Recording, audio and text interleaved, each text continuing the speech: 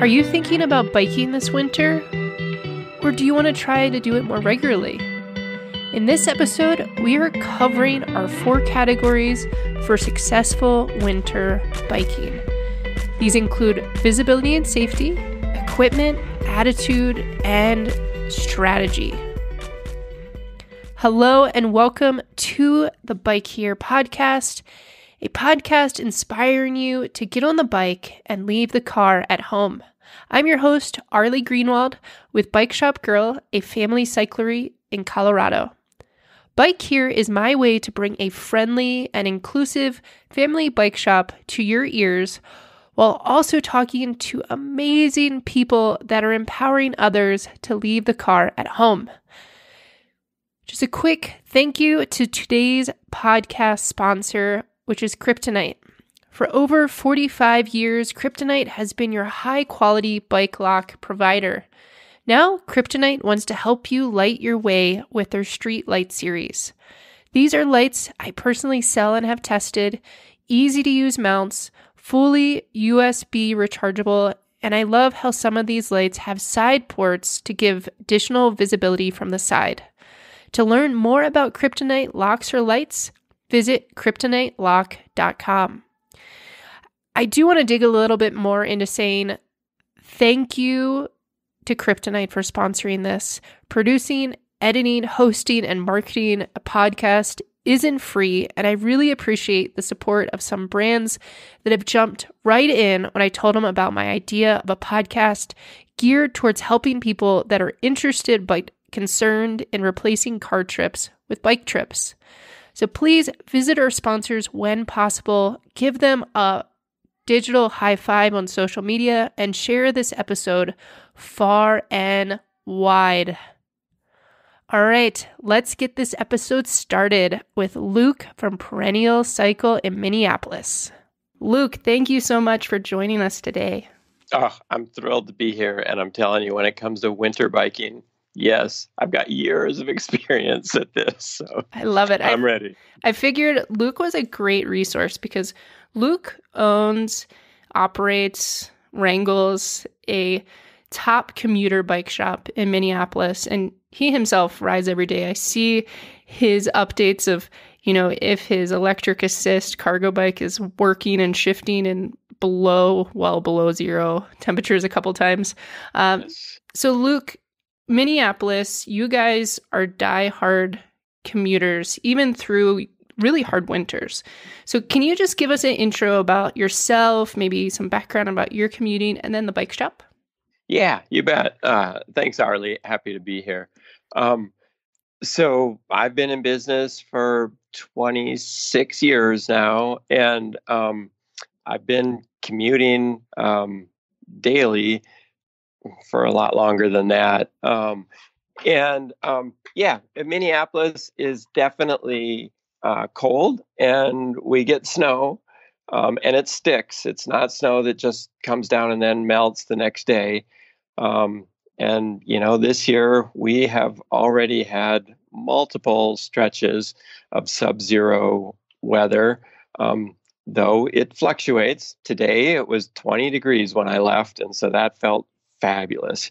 Um, anyway, so I've been commuting for a long time by winter, and I have evolved. I've gotten a little bit better at it, um, and um, we we help a lot of people in the shop that do um, also commute daily, and and not that everybody's doing it every single day. We have plenty of people um, that have set aside two or three days a week um, and they're watching the weather. They don't like to be out when there's fresh snow on the ground, and that's amazing as well. So um, we do we deal with a, a, pretty good range of people um, as far as who's getting out, how they're getting out. Our we, we have families that are dropping kids off at school through the winter, which to me is absolutely amazing and awesome. So.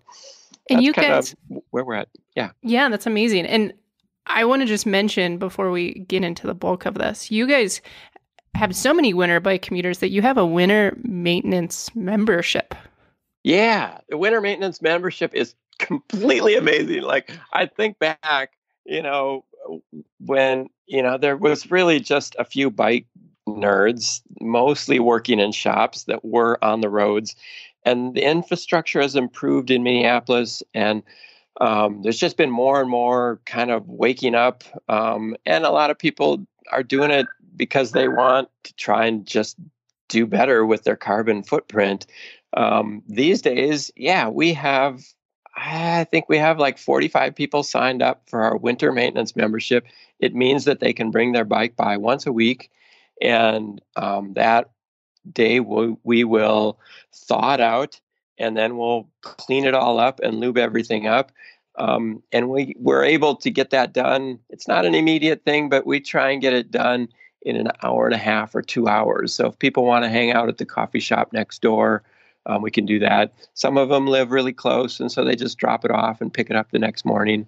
Um, when we started the winter maintenance membership program, I certainly envisioned um, a whole bunch of I don't know white guys like me walking in and getting their memberships. The reality is, is it's a huge range of people um, that have seen it, recognize it, and they ride their bikes enough in the winter that they they see how bad winter can be on a bike. And yet, if we clean it up once a week and keep it lubed come spring, it really doesn't look different than it did in the fall. It's just basic wear and tear. So, yeah, uh, we I'm I'm a huge supporter of the winter maintenance membership plan. So I like it a lot. Wow, I might uh, pick that up. yeah, I would recommend it. I would recommend it for That's sure. That's awesome. And so for today, we're really going to just break winter biking and specifically winter bike commuting because here in Denver, we have a lot of people that fat bike, which is more to me as a sport, unless you're using that fat bike as your commuting device. So today we're going to be talking about winter bike commuting and the four categories that I look at it when I'm helping a customer or a friend First off is vil- visibility and safety, right? Like our ultimate goal, if you're driving, biking, walking, is getting home at the end of the day. And then we'll move into equipment. So that's equipment for your bike, but also for your body. And then attitude and strategy. And these last two things, I think, are often um, forgotten about. You know, we, as an industry, uh, the bike industry really gets geeked out about gear, so I think the visibility and safety and the attitude and strategy are things that, you know, we're going to have show notes for this. So if we talk a lot and you need to take notes or you need to look back, just know everything that we're talking about. I'll have links on our website, bikehere.com, under episode number two. So, Luke, I'm going to get you fired up, I know. So, let's talk about visibility and safety. Totally. I, I, gotta say, I love the attitude and strategy. That's that's a really really good thing to talk about right away. Um, but anyway, let's start with visibility.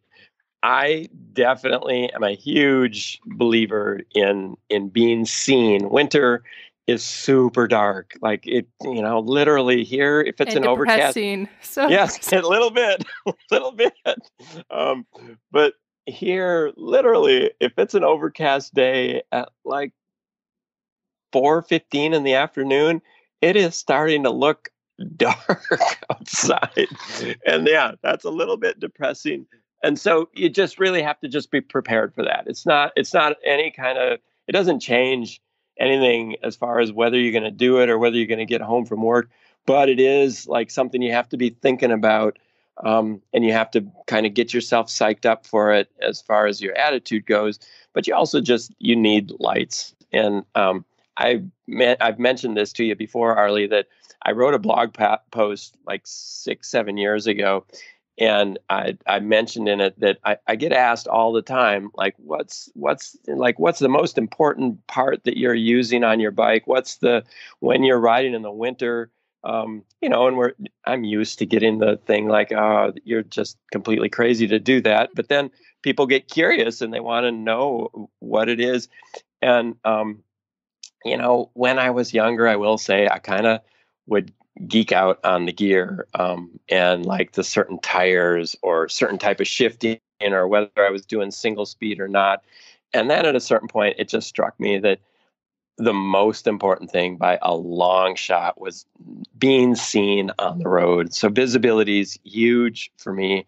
I am using uh, two sets of lights on the bike. I'm I'm a big fan of dynamo lighting, so that lighting that the front wheel is powering your lights. So that's that's kind of permanently attached on my bike, and I always know that that works. And then I also use a helmet light that has both a forward and a rear light on it. Um, I'm putting a you know a big uh, lime green uh, windbreaker on over my jacket so that um, I can just be I can be comfortable that I'm being seen on the road. Um, I know that you know if I were to get run over by a bus, I know that my wife is not going to wonder whether my feet were cold or not. she's, she, it's all going to be like, oh, game over. Um, and so while I do need gear that's going to keep my feet warm, it's it's quite a bit lower in the priority than just plain visibility.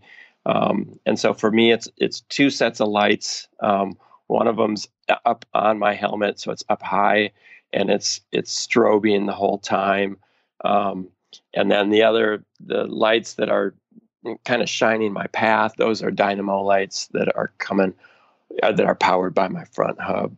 That's awesome. And I want to add to that because I kind of have the same setup, but I ride an electric bike, so my lights are powered off my bike. Okay. Yeah. And, sure. You know, the only th- I want to add in this that I'm obsessed with monkey lights. Ah, fun. Uh, you know, the wheel lights. Yeah, um, totally. Yeah. You know, because it adds a lot of light from the side yeah. where, you know, and if it's wet or or snowy or you know, the ground is wet at all, it like makes this like halo around you, which is really yeah. fun. And people are like, oh, what is that? Instead of like, F the cyclist. Um, you know, and there's more and more lights that are now um, integrated in, in helmets and things like that. But I don't know if we run the same one, but I use the Light and Motion. What is it called? Like the Viz 360 or something yeah, on my helmet? Yeah, I do. I use the same one. Yeah. And it's completely waterproof. Um, I have been trying one from Surface um, that the battery can come out, which is nice. So you're not just oh, dedicated cool. to that one. But the reason I use them, to your point, it's higher.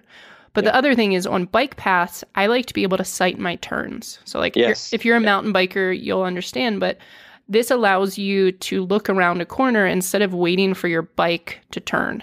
Uh, so I can look down, you know, bridges, I can look down dark streets, all those things.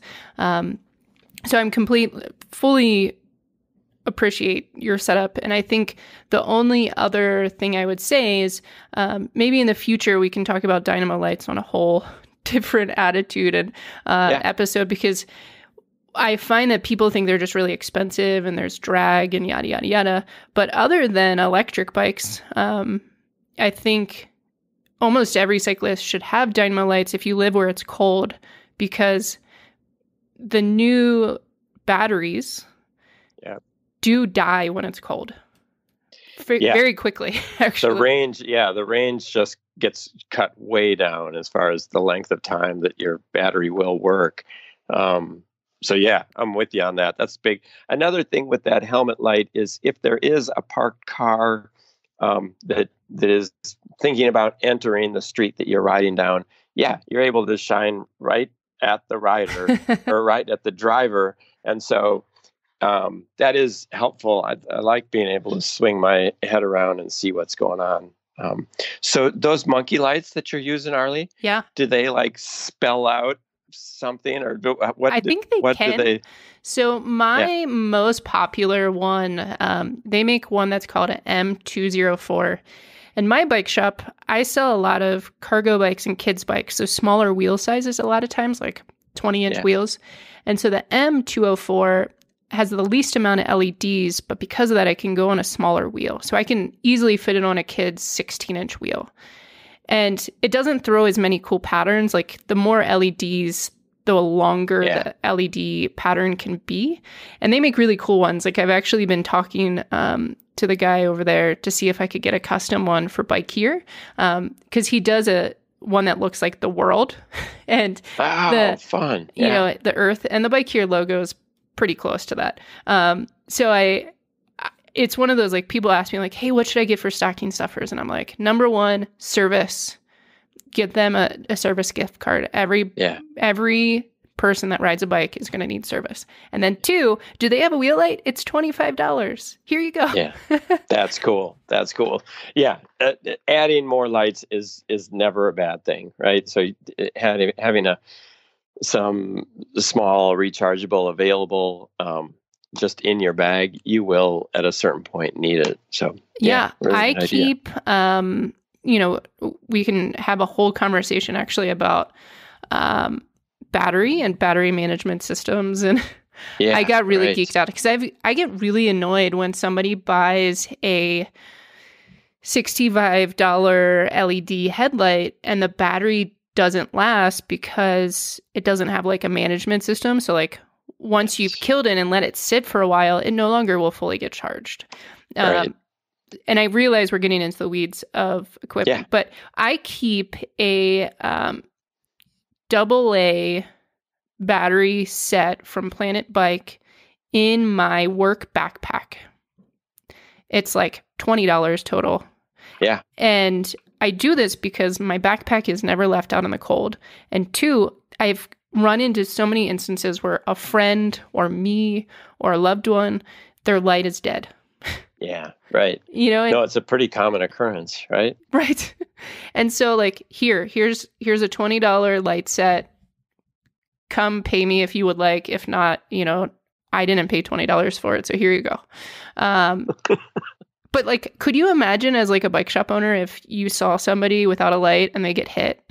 Like, Oh, I know. No, it it freaks me out. No, I'm I'm with you all the way. Um, there are more cyclists out and about that um, are kind of like they they seem to be going stealth, and I don't think going stealth mode is a good idea if you're riding on the streets. That's for sure. Yes. So we actually just organically transitioned into equipment. So to me it breaks Yeah, down into like Right bike equipment and on your, like your personal equipment. And Yeah. I think and I don't know if we can get into this, Luke, but for me, your equipment changes and I don't know if this is the exact number, but like if your commute's over 25 minutes, you kind of like naturally need to change into more like outdoor cycling type clothing Yes. um, under 25 minutes, I wear, you know, basically LL Bean jeans with flannel inside, the flannel lined, and boots and my winter jacket, and I'm good.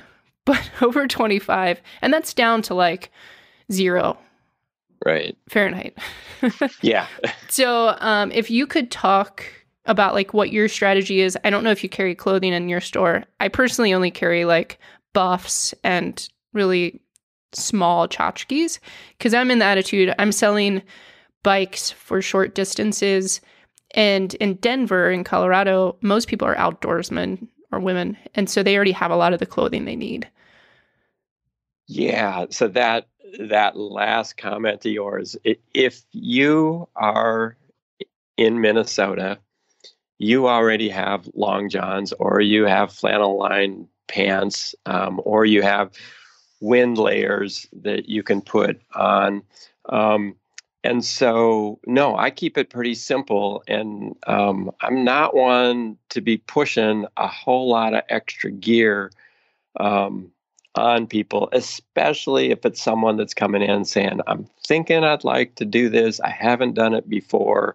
Um, there are some kind of big ticket items that you're going to have to spend money on. Studded tires are absolutely essential if you want to ride in Minnesota. It's just, there's just no way you can do it w- without them.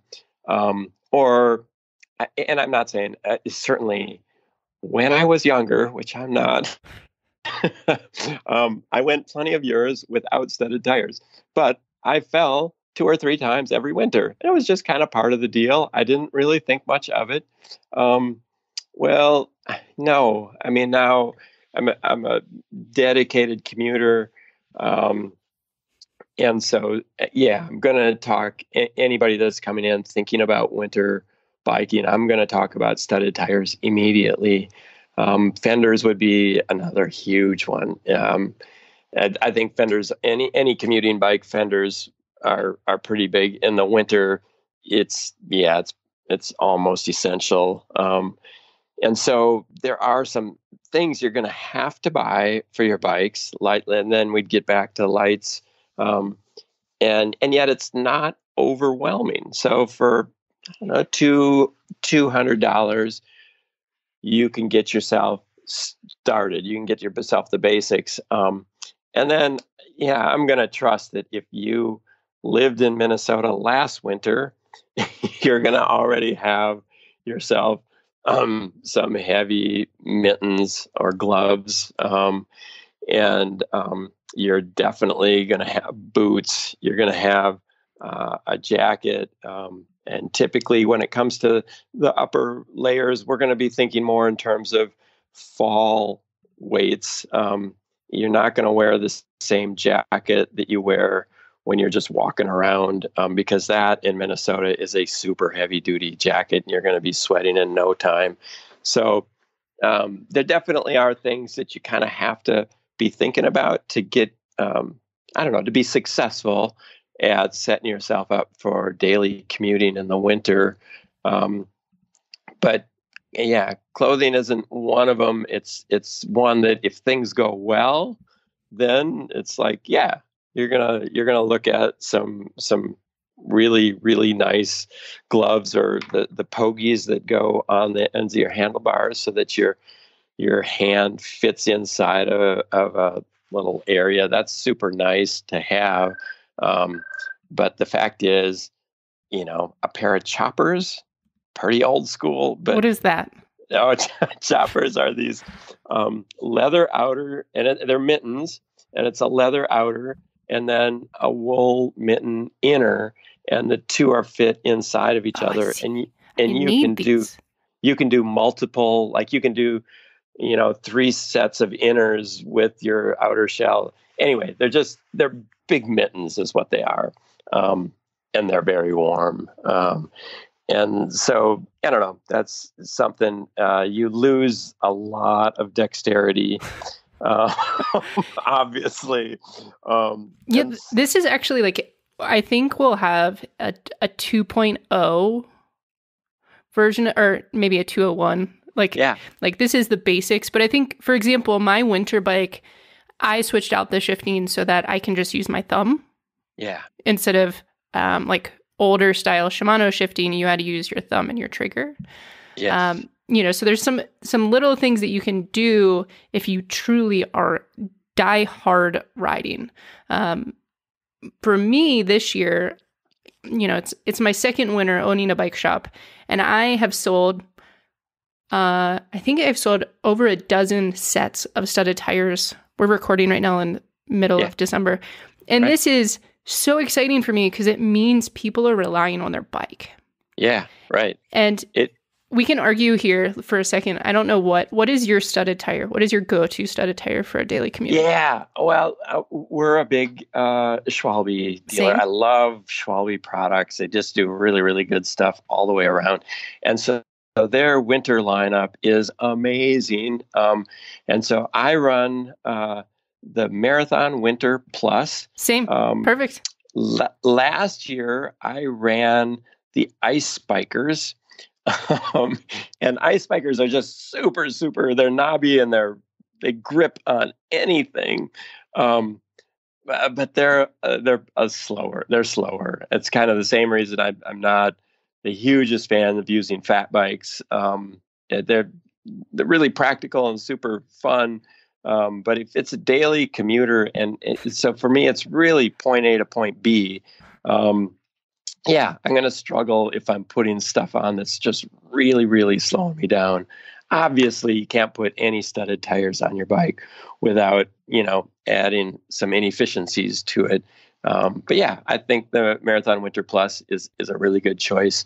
Um, a couple of the people here at the shop they run the Ice Spikers, um, so it's it's it's uh, people have different ideas about what's what's the best way to go. Sure. Well, and you guys have a pretty solid freeze for the next yeah. few months. Like here in Denver, we deal with, you know, where we get ice and then it melts and then it freezes overnight in the worst places, right? Like under bridges, in the shade yeah, where right. you can't yeah. see it.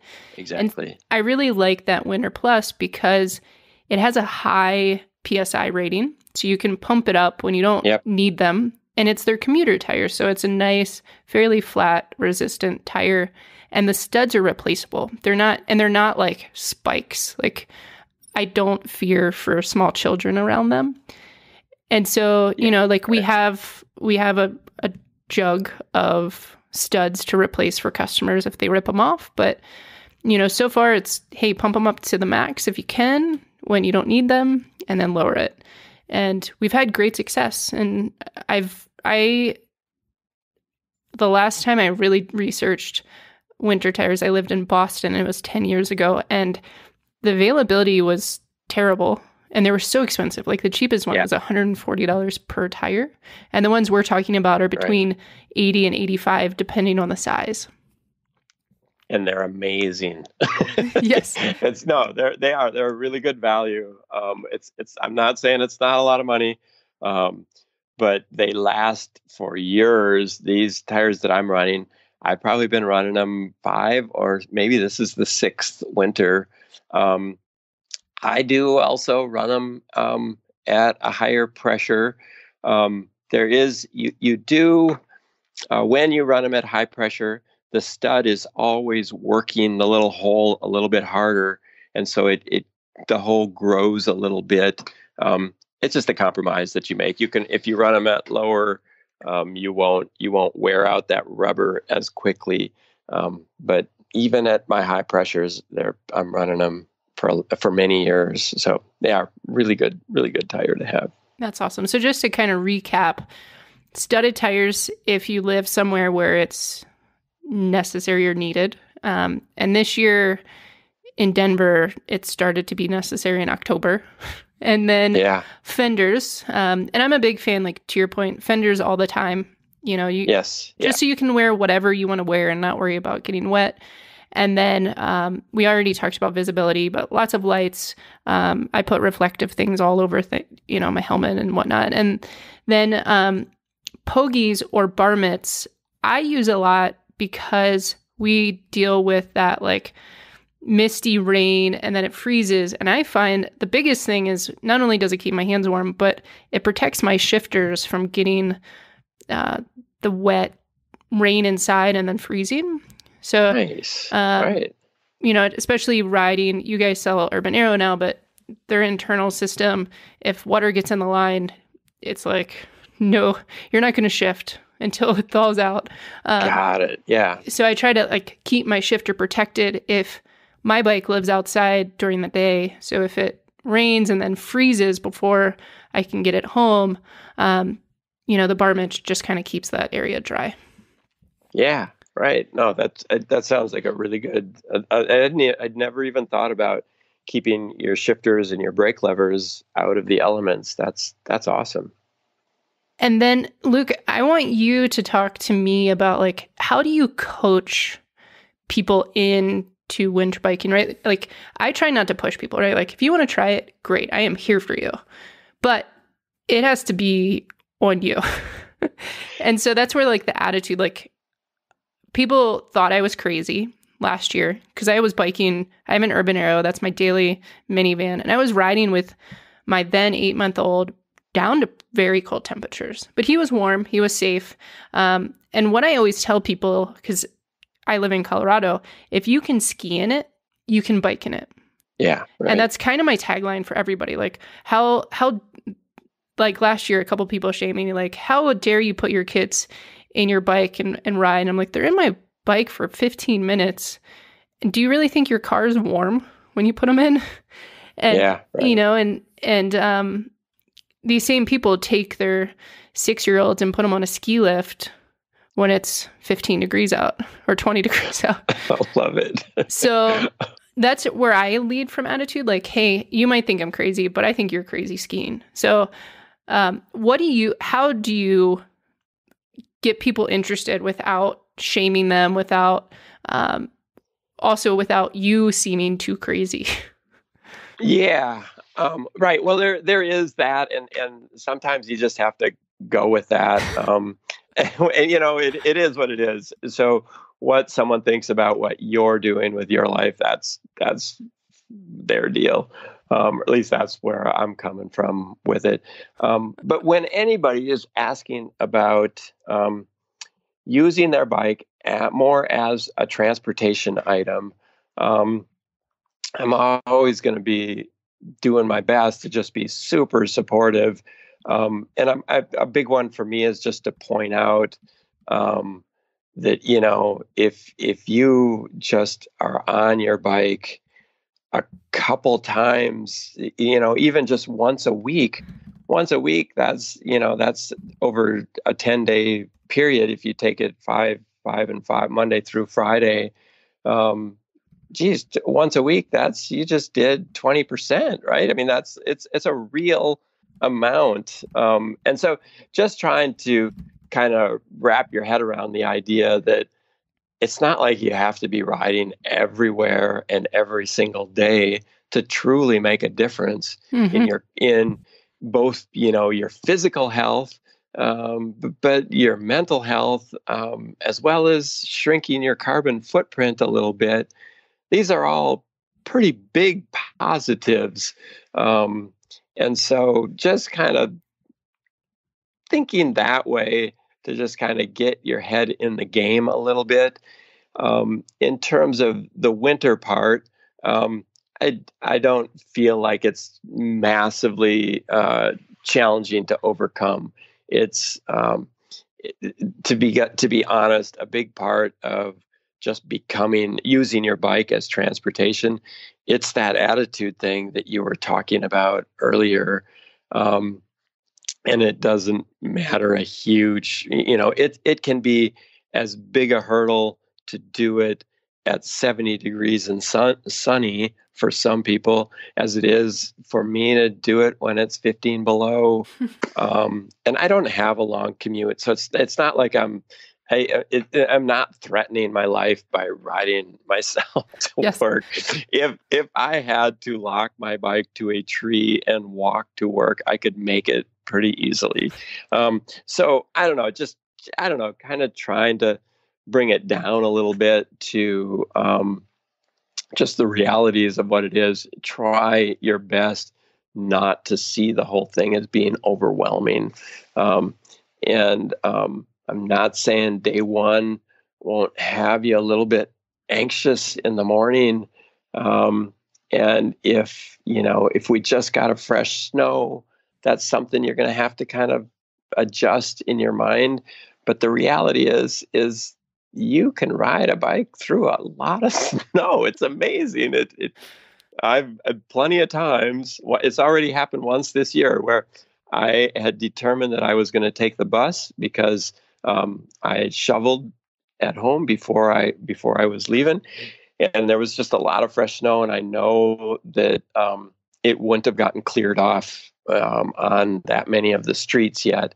Um, but anyway, by the time I was done shoveling, I I'd worked myself past that, and I was riding to work, and and I had a fine ride to work. I didn't, I never went down, and and so so much of it can be just kind of getting your head in the game. And um, once you've done it a few times, it's it's just a little bit easier to kind of have a little more confidence. I appreciate the idea that if you can work from home, work from home, you know, or yeah, work from right. that coffee shop that's closer to your house. Uh, carpool, you know, like the one of the things that I try to tell people is like you're not committing to it for every single day, and let, until you sell your car, right? Like, and almost to every customer that's like, hey, I, I think I'm going to sell a car. And, and I always say, okay, try to not drive from January through February and then sell your car. you know, but just, yeah, right. um, you know, give the keys to somebody if you have to. Luke mentioned a lot of things. And so, what I'm going to do is do my best to collect all the links and notes that we just reviewed and put it in an episode show notes, uh, which you'll be able to find at bikehere.com.